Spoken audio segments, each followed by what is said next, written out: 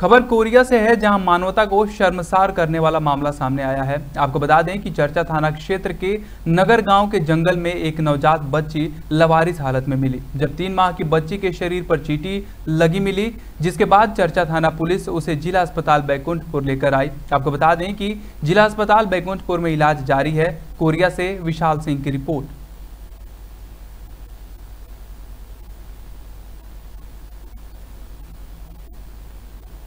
उससे थाना प्रभारी जो चर्चा है उनके द्वारा जंगल में अज्ञात बच्चा है, उसको लाया गया है।